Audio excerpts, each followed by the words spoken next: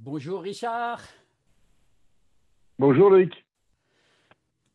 Ta passion pour la veille, ta passion pour apporter à tes clients des informations pertinentes, j'adore ça moi, mais tu, tu, participes souvent au Social Selling Forum et donne-nous trois conseils, trois suggestions dans ce domaine des informations pertinentes, notamment en utilisant les réseaux sociaux bien sûr.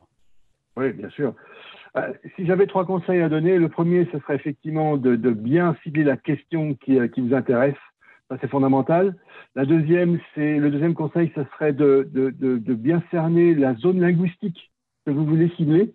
Si vous avez une cible en Chine, il faut faire une veille en chinois, c'est quand même plus pratique.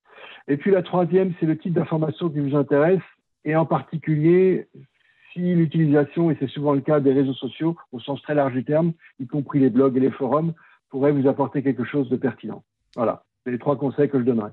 Alors reviens sur le premier, donc cibler, qu'est-ce que alors, les questions classiques, ce sont euh, que font mes concurrents? Mais dans que font mes concurrents, il y a des tas d'activités. Est-ce que vous êtes intéressé par, par les investissements financiers, par les développements des nouveaux produits, etc. Et dans les concurrents, une question qui est brûlante aujourd'hui, c'est, euh, alors pas malheureusement exclusivement lié à la crise sanitaire, mais, mais, ça amplifie, ce sont les startups. Donc, que font les concurrents que, que vous ne connaissez pas encore?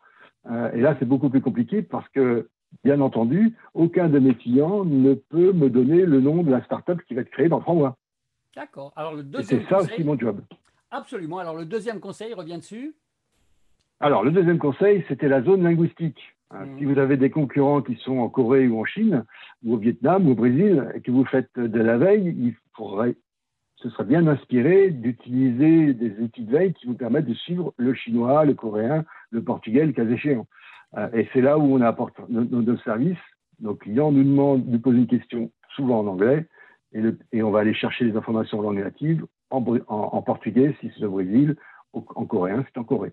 Y compris sur les réseaux sociaux, alors, dans ce domaine de contextuel? Y compris sur les réseaux sociaux, et comme je l'ai dit tout à l'heure, y compris en, en, ratissant les blogs et les forums, puisqu'il n'y a pas qu'en France qu'il y en a, il n'y a pas que dans les pays anglophones qu'il y en a, euh, il y en a beaucoup, il y en a pratiquement dans tous les pays et certainement dans toutes les langues.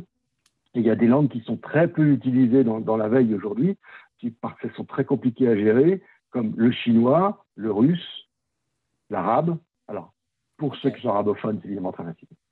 Et alors le troisième et dernier le troisième dernier conseil, c'est de, les, types de sources. Euh, et, on néglige beaucoup de, sources, en particulier celles concernant les réseaux sociaux, mais pas que des LinkedIn ou de Facebook. Il y a aussi d'autres modes de, réseautage, comme les forums et les blogs, dans lesquels on va effectivement apprendre beaucoup d'informations très pertinentes, puisqu'il y a souvent beaucoup plus d'échanges, et des échanges factuels sur des problématiques qui sont bien ciblées ou un peu mieux ciblées la plupart du temps, pas toujours.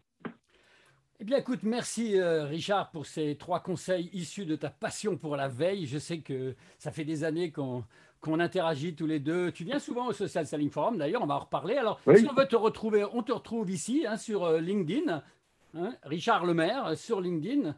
Et, puis alors, tu as fait une belle petite vidéo avec ton fils, là, comment fonctionne Niwa le, Niwa interroge les banques de données en langue native. Il est maintenant à peu près illusoire de récupérer des informations pertinentes d'un journal chinois ou russe en utilisant des mots de clients en anglais. Avec Niwa, vous ne recevrez plus les newsletters sans fin ou les feeds d'informations insipides. Ah bah c'est super, c'était ton fils là qui était sur la vidéo? Exactement, exactement. Parfait, Richard. Donc euh, Richard Lemaire, donc vous le voyez, on voit bien d'ailleurs la veille et puis la, visualisation. Hein. Est-ce que tu aimes bien la visualisation? Euh, Alors, ah, c'est fondamental. Voilà, Aprobase International, c'est ta société. Tu n'as pas en ce moment de webinaire, toi. C'est marrant, tu fais pas de webinaire. Par contre, tu vas participer au Social Selling Forum Genève bientôt? Exactement. En ligne, bien sûr. avec grand plaisir. Ça sera le deuxième en ligne et le énième, euh, le énième en tout avec grand plaisir. On a beaucoup à partager et je le fais avec, une, joie non contenue. Absolument, c'est le 11 et 12 juin, c'est en ligne pendant deux jours. Il suffit d'aller sur socialsellingforum.com slash fr slash Genève. Et puis, euh, on va retrouver Richard dans différents ateliers, euh, visioconférences.